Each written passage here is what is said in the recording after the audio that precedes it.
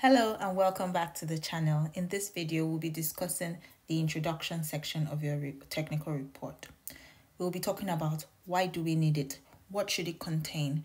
We would also look at sample introductions and tips for writing an introduction.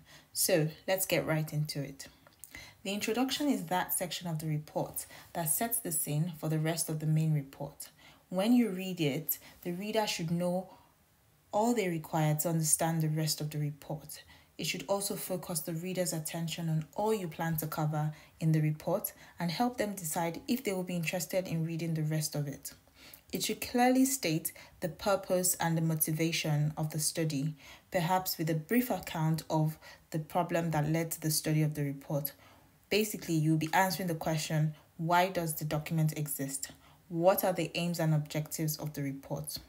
It should also contain the context, and this can be in form of a background or a history or how you intend to develop the topic across the report. It should also state the scope, that's the amount of detail you plan to cover. So that would help the reader to understand the structure of your overall report. So any limitations of the study you've done or the procedures or the methods used.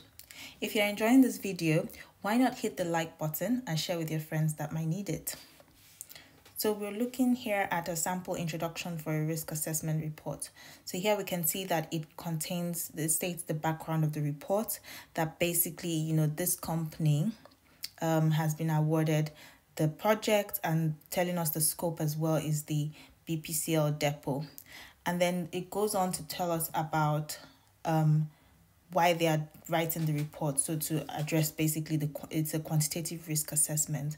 And then it also states what the um the what the software the software that has been used and the purpose of the study as well. So you can see clearly that this is what you would like to see. So if you're interested in you know understanding how this has how Phast Risk has been how Phast Risk and Phast have been used for example which are the software they've mentioned then you would read on read on about the report. But if you're interested in another piece of software then perhaps you might not be necessarily interested in this report. So this is why an introduction is good. Let's have a look at another introduction. So this is the sample introduction um, for a research paper that has been written. So here again we can see that it develops the topic. We can see that they've also cited key references and the aim of the study. So it gives us a background on the study while we're looking at the growth mindset um, for undergraduate students. And it goes on to give us some references as well as some, you know, numbers around the study that have been the studies that have been done previously. So it then and at the bottom we can see that it tells us the goal of the study which is to gain deeper insight into how and why the undergraduate students mindsets change. So we can see that this is really important both for industrial reports and academic reports as well. Now let's go on to some tips for writing this important section of your report. So first of all your first sentence matters this is so important because at this you, you have to pitch it at the right level. So you don't want to you know use cliche or general statements as your first sentence. You have to ensure that it is tailored to your specific challenge that you're solving using that report.